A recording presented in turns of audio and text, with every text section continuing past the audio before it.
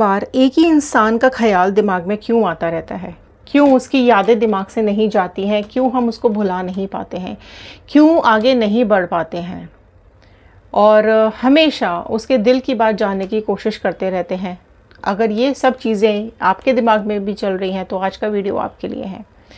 सो so, नमस्ते दोस्तों मैं Ritu Bhardwaj wheel of fortune tarot two one nine zero से मेरे चैनल पर आप सभी का बहुत बहुत स्वागत करती हूँ। आशा करती हूँ आप सब लोग खुश होंगे पॉजिटिव होंगे और लाइफ में आगे बढ़ रहे होंगे। सो so, ज़िंदगी में लाइफ में सबसे ज़रूरी चीज़ होती है प्यार।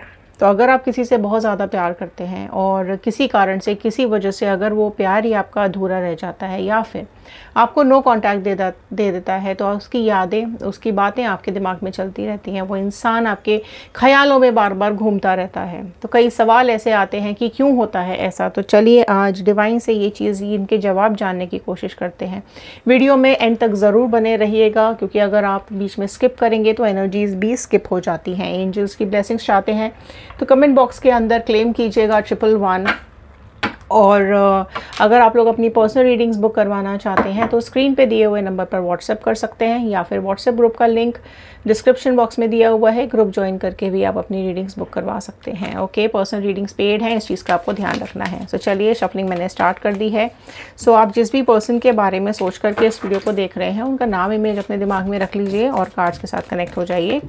देखते हैं क्या डिवाइन आज आपको बताना चाहते हैं। क्यों वो इंसान आपके ख्यालों में छाया रहता है या छाई रहती है? So all the divine energies Bajrang Bali universe angels please बताइए क्या कुछ है व्यूअर्स की लाइफ में? ओके.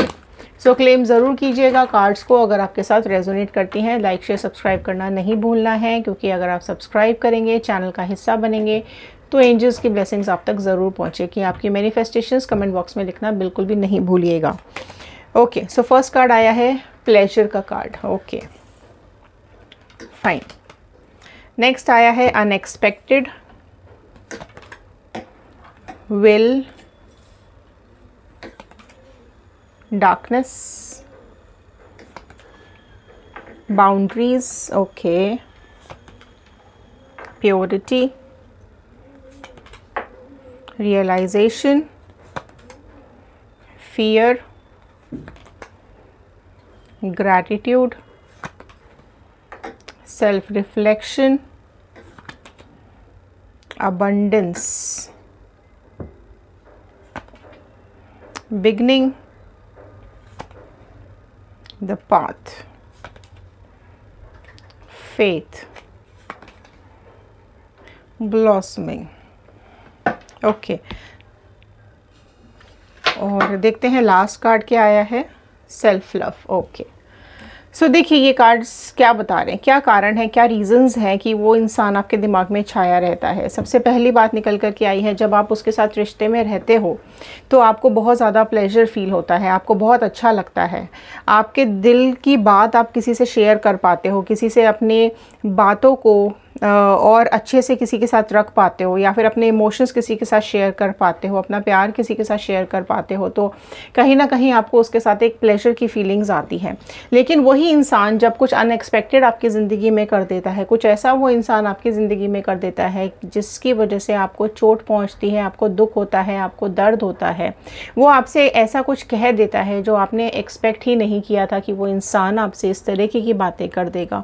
सो कहीं ना कहीं आप उसको भूल नहीं पाते हो। आप चाहते हो कि वो पर्सन आप आपका ख्याल रखे, ठीक है? जो आपकी इच्छा है और जो आपकी मन की बातें हैं, वो कहीं ना कहीं समझ ले खुद ब खुद। और जब वो चला जाता है आपकी ज़िंदगी से तो एक बहुत अंधेरा सा छा जाता है आपकी लाइफ में एक डार्कनेस आ जाती है। आप इसके परे कुछ देख नहीं पाते हो। ऐसा लगता है कि जैसे ज़िंदगी ही अंधेरी हो चुकी है। आप लोग अपने आसपास कुछ बाउंड्रीज़ खींच लेते हो, ठीक है? कि हमें इससे बात नहीं करनी, या हम ज़्यादा किसी से बात नहीं करेंगे, खुद को अकेले रखने की कोशिश करते हो। और खुद को एक ऐसे घेराव में डाल लेते हो या फिर ऐसे एक बंधन में बाँध लेते हो कि आप आगे बढ़ ही नहीं पाते हो। राइट? right, आपको ऐसा लगता है कि आपकी तरफ़ से बहुत ज़्यादा प्योर लव था। आपके अंदर एक प्योरिटी थी, आपके प्यार में एक प्योरिटी थी और उस प्यार को कहीं ना कहीं इस पर्सन ने अकेला छोड़ दिया या फिर अधूरा छोड़ दिया या फिर कोई ऐसी चीज़ जिसकी वजह से आपके पर्सन ने आपसे नो कांटेक्ट दे दिया है। राइट और आपको एक डर लगा रहता है, हमेशा एक घबराहट रहती है हमेशा कि ये पर्सन कहीं आपको छोड़ तो नहीं जाएगा।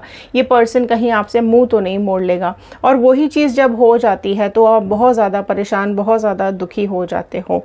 एंड कहीं ना कहीं एक भरोसा आपका टूट जाता है, विश्वास आपका टूट जाता है। है ना? और देखिए, एक सप्रेशन आने लगता है और इस सप्रेशन सप्रेशन आने के कारण क्या होता है कि आप आगे ही नहीं बढ़ पाते हो ग्रोथ नहीं कर पाते हो। राइट right, किसी और चीज़ पर किसी और बात पर या किसी और इंसान पर किसी काम पर आप ध्यान भी नहीं दे पाते हो। दुखी रहते हो मन शांत बहुत ज़्यादा रहता है ठीक है? बार बार वही व्यक्ति ख्याल में आता रहता है। राइट right, आप कहीं ना कहीं आपका पर्पस भूल जाते हो आपकी लाइफ का पर्पस भूल जाते हो आपके सोल का पर्पस आप भूल जाते हो। जब आप खुद को देखते हो तो एक एक आपको ख्याल आता है कि आप अधूरे रह गए या फिर आपकी ज़िंदगी अधूरी रह गई या फिर एक प्यार अधूरा रह गया है। लेकिन ये चीज़ आपको समझनी पड़ेगी कि आपका जो एक सेल्फ अटेंडेंस है मतलब आप खुद की तरफ़ जो ध्यान देते हो, वो आप देना छोड़ देते हो। है ना? अब आपका, आपको ऐसा लगता है कि अब हमारा रिश्ता ठीक नहीं चल रहा है, या फिर आपके पर्सन ने आपको ब्लॉक कर दिया है, या फिर आपका दिल दुखा दिया है, आपसे ऐसा कुछ कह दिया है जिसकी वजह से आप बहुत ज़्यादा परेशान हो, दुखी हो खुद की इमोशंस कंट्रोल नहीं कर पा रहे हो, दिन रात आप रोते रहते हो तो बार बार उस इंसान का ख्याल आपके दिमाग में आता रहता है। ठीक है, अगर आप उस बात को, उस याद को कहीं भुला नहीं पा रहे हो तो वो इंसान बार बार आपके ख्याल में चलता रहता है। ठीक है, अगर आपका कोई रिश्ता अधूरा रह गया है, अगर आपका कोई रिश्ता पूरा नहीं हो पाया है, अगर एक अधूरापन रह गया है तो कहीं ना कहीं वो आपके सब कॉन्शियस माइंड में रहता है और सब कॉन्शियस माइंड बार बार उस चीज़ की याद दिलाता रहता है। बार बार चीज़ें रिपीट होकर आपको दिखने लग जाती हैं। आपको ऐसा लगता है कि आपकी तरफ़ से बहुत ज़्यादा कोशिश हुई, आपकी तरफ़ से बहुत ज़्यादा एफ़र्ट्स डाले गए। आपने चाहा था कि ये इंसान या ये पर्सन आपके साथ रिलेशनशिप में आप दोनों साथ ग्रो करो। ठीक है, आप चाहते थे कि एक प्यार की खुशबू आप आप दोनों के रिलेशनशिप में रहे, है ना? लेकिन वही पर्सन जब आपसे कुछ अनएक्सपेक्टेड या कुछ इस तरीके की बातें कह देता है, या आपको बोल देता है तो आप बहुत ज़्यादा हर्ट फील करते हो। परेशान हो जाते हो और वो चीज़ें, वो कही हुई बातें उसकी आपको बार बार रिपीट होती हैं बार बार उसकी बातें आपको याद आती रहती हैं। है ना? और जब वो चीज़ें, वो जगह, वो बातें, वो वो वो उसकी यादें, उसकी फ़ोटोज़ या जो कुछ भी है, वो बार बार आपके दिमाग में आती रहती हैं। आपको ऐसा लगता है कि मैंने बहुत कोशिश की, मैंने बहुत एफ़र्ट्स डाले, मेरा बिल्कुल प्योर लव था। लेकिन आपकी हर कोशिश के बावजूद भी अगर सामने वाला, अगर आपको इग्नोर करना शुरू कर दे, आप कॉल करो, सामने वाला बिज़ी दिखाने की कोशिश करें। आप आप मैसेज करो, सामने वाला आपके मैसेज के जवाब ही ना दे। या फिर आप दस मैसेज करो, दस में से किसी एक मैसेज का जवाब दे तो कहीं ना कहीं आप उस तकलीफ़ में आने लग जाते हो कि ये पर्सन मेरे को इग्नोर क्यों कर रहा है या क्यों कर रही है। राइट नेक्स्ट पॉइंट यहाँ पर आता है कि जो टाइम आप उसको दे रहे थे ना, वो कहीं ना कहीं एक खाली हो गया वो टाइम है ना? आपको ऐसा लग रहा था कि जो एक समय आप उसको देते हो, ठीक है? एक पर्टिकुलर टाइम आप उसको देते हो, बातें करनी हो या फिर घूमना हो, साथ में टाइम स्पेंड करना हो या फिर अपनी बातें उसको बताना हो, उसकी हज़ार बातें आपको सुननी हो तो जो वो टाइम आप उसको दे रहे थे ना, वो टाइम कहीं ना कहीं वेकेंट हो गया, खाली हो गया। तो वो जो टाइम खाली हुआ, उस खाली टाइम की वजह से अब आपके पास करने के लिए, उस खाली समय में आपके पास करने के लिए अब कुछ नहीं बचता। तो क्या होता है जैसे ही वो समय आता है दिन का तो आप उसकी याद करने लग जाते हो। आपने जो भी उसके साथ क्वालिटी टाइम स्पेंड किया था ना वही क्वालिटी टाइम अब आपको यहाँ पर परेशान करने लग जाता है। सो so, डेफिनेटली एक खालीपन आ जाता है उस उस समय पर जब आप दोनों साथ होते थे। और उस खालीपन में उसी टाइम पर क्या होता है पुरानी बातें याद आती हैं और स्पेशली झगड़े याद आने लगते हैं। उसने आपसे क्या बोला वो आपको याद आने लगता है। आपने बेसिकली वो वाला टाइम अपना कहीं इन्वेस्ट ही नहीं किया। आपने नए रास्ते खोजे ही नहीं उस समय को कहीं इन्वेस्ट करने के लिए। सो so, जब आप उसी समय में अटके रह जाते हो उसी टाइम को आप उसी यादों में खोए हुए रहते हो तो कहीं ना कहीं आप उस पर्सन को अपने दिमाग से निकाल नहीं पाते हो। सामने वाला पर्सन तो आपकी यादों से निकल गया ठीक है आपकी लाइफ से निकल गया या फिर उसने आपने आपको इग्नोर किया और अपने काम पर ध्यान दे रहा है या फिर किसी और चीज़ पर ध्यान दे रहा है तो उसने उस खाली समय को उसने तो इन्वेस्ट कर दिया अपना कहीं लेकिन आप उस खाली समय को सिर्फ़ और सिर्फ़ उसकी यादों में ही डूबा हुआ पाते हो। तो आपको बहुत ज़्यादा ज़रूरत है कि आप उस, जो वेकेंट टाइम आपके पास आया है, उस वेकेंट टाइम को एक वेकेंसी ना रखें, उसको अपने ऊपर इन्वेस्ट करना शुरू कर दें। ठीक है? या तो कुछ सीखना शुरू कर दीजिए, अपने ऊपर टाइम स्पेंड करना शुरू कर दीजिए आप अपनी ग्रोथ के ऊपर काम करना शुरू कर दीजिए। और अगर पॉसिबल है आपके लिए तो डेफिनेटली आप उस टाइम में कुछ काम पे इन्वेस्ट करो, कुछ काम करना शुरू कर दो। तो क्या होगा, वो खाली समय आपके पास रहेगा ही नहीं। है ना? और नेक्स्ट पॉइंट देखिए क्या होता है कि डेफिनेटली चीज़ें याद आती हैं, है ना? तो आपको मेडिटेशन करने की ज़रूरत है। आप मेडिटेट करेंगे, अपने ऊपर ध्यान देने की कोशिश करेंगे at least twenty one days आप ट्राई करके देखेंगे तो आप जो चाहते हैं वो डेफिनेटली आपको मिलेगा। और जो आप एफर्मेशंस बोलते हैं, जो आप अपने लिए मेडिटेशंस करते हैं, जो खुद के लिए इच्छाएँ मांगते हैं, वो कहीं ना कहीं आपको प्रेजेंट टेंस में मांगनी है। आप एफर्मेशन वाला वाटर भी पी सकते हैं। अब ये कैसे करना है, कैसे बनाना है, मेरा एक वीडियो ऑलरेडी मेरे चैनल पे पड़ा हुआ है, आप जा कर के देख सकते हैं। राइट और उस खाली समय को आपने कहीं ना कहीं टाइम में अपने काम पर इन्वेस्ट करना है। उसकी यादों को अगर आप अपने दिमाग से निकालना चाहते हो तो वो या, वो टाइम आप कहीं और इन्वेस्ट करना शुरू कर दीजिए। नेक्स्ट पॉइंट ये बता रहा है कि आप जिस, आप क्या होता है ना कि आप उस पर्सन को अपना सब कुछ मान लेते हो। आप उसके ऊपर इतना भरोसा कर लेते हो कि आपको ऐसा लगता है कि ये पर्सन आपके साथ कभी गलत नहीं करेगा, आपको कभी छोड़ेगा नहीं, आपके साथ झूठ नहीं बोलेगा। आप अपनी अटेंशन आप अपना अपना पूरा का पूरा समय उसी को देना शुरू कर देते हो। आप उसको अपना खुद का आइडल मान लेते हो। आप उस पर टोटली निर्भर हो जाते हो। वो खुश करेगा तो आप खुश हो जाओगे, वो दुखी करेगा तो आप दुखी हो जाओगे। रादर देन दिस आप खुद पर खुद पर ध्यान दीजिए, आत्मनिर्भर बन जाइए। ठीक है? अपने दिल का दिमाग का संतुलन बनाने की कोशिश कीजिए। अगर आप मेडिटेट करेंगे, खुद का संतुलन बनाएँगे, आप किसी के कदमों पे इतने ना बिछ जाएँ कि वो आपकी बेइज्जती करने लग जाए। ठीक है? आइडल ऐसे नहीं होते हैं कि लोग जब अपना मतलब निकल जाए और आपकी ज़िंदगी से चले जाएँ, वो आइडल नहीं होते हैं। ठीक है? अगर वो आपकी ज़िंदगी में है और आपके लिए टाइम इन्वेस्ट कर रहे हैं, आपको इग्नोर नहीं कर रहे हैं, आपसे प्यार करते हैं, आपका साथ चाहते हैं और हर हाल में आपके साथ खड़े हैं तो बिल्कुल आप आइडल मान सकते हैं। लेकिन तब भी आप खुद को अपना आइडल पहले मानिए। खुद पर काम करना शुरू करेंगे तो आप देखेंगे कि धीरे धीरे आप खुद ही बेहतर होते चले जा रहे हैं। तो कोई भी इंसान आपको छोड़ने के बारे में सोचेगा ही नहीं। आपकी कोई ना कोई कमज़ोरी सामने वाला इंसान पकड़ लेता है। जिसकी वजह से वो आपको छोड़ने के बारे में सोच लेता है। और जो समय वो आपके साथ बिता रहा था, अब वो समय किसी और काम में या किसी और के साथ बिताना शुरू कर देता है बट आप नहीं करते हो। जिसकी वजह से वो यादें, वो बातें आपके दिमाग में घूमती रहती हैं, घूमती रहती हैं। राइट सो बहुत इंपॉर्टेंट है कि आप अपने सोल पर्पज़ को पहचानो। आपके सोल का क्या पर्पज़ है? उसको आप डेफिनेटली पहचानो। नेक्स्ट क्या होता है कि जब हम नेक्स्ट पॉइंट ये है कि जब हम किसी से कुछ वादे कर लेते हैं, ठीक है? किसी से कुछ कस्में खा लेते हो, या किसी के साथ जब हम बहुत टाइम स्पेंड करते हैं तो कुछ वादे जब हम कर लेते हैं तो वो वादे अगर अधूरे रह जाते हैं तो वो बार बार कोशिश करने के बावजूद भी ना, वो चीज़ें, वो वादे, वो अधूरापन दिमाग से नहीं जाता है। तो अगर आप उसको निकालना चाहते हैं उस परेशानी को निकालना चाहते हैं तो ग्रैटिट्यूड देना शुरू कीजिए। यूनिवर्स को ग्रैटिट्यूड दीजिए। आपके आसपास उन लोगों को ग्रैटिट्यूड दीजिए जिन्होंने आपके लिए बहुत कुछ किया जिन्होंने आपसे प्यार किया जिन्होंने आप आपके लिए हर तरह की कोशिश की। ठीक है?